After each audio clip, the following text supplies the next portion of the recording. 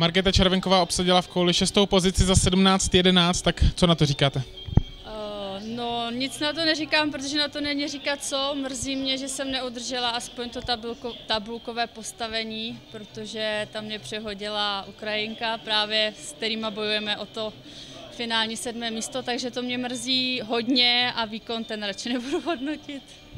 Ukrajinka vás přehodila tuším o 7 cm, prostě o málo, tak co chybělo tomu má, to málo, abyste přidala třeba vy? Víc pokusů. Bohužel se mi poslední dobou nedaří ani v závodech, ani v tréninku, prostě to tam hodit. V prvních třech pokusech potřebuju na to víc těch pokusů, abych se dokázala do toho dostat, takže asi to potřebovala bych víc hodů, ale když to nejde na tréninku, tak nemůžu čekat, že mi to půjde i v, těch, v tom závodě. Jak vám vůbec seděl kruh tady v Bydhošti?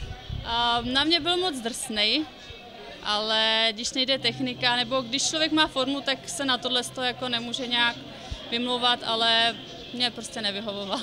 Bych potřebovala trošku hladší. Děkuju moc. To.